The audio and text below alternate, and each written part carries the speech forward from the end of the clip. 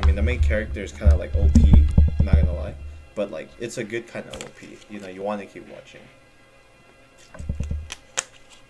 You want to see him get better, so highly recommend it. All right, commence trial.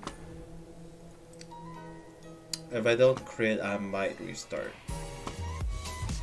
Or if I just like fuck up the rotation.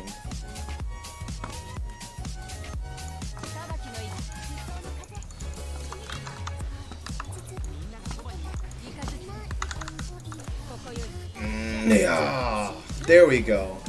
Oh, that felt so sick. I don't get her at the power that I want her to be. But that's still pretty good.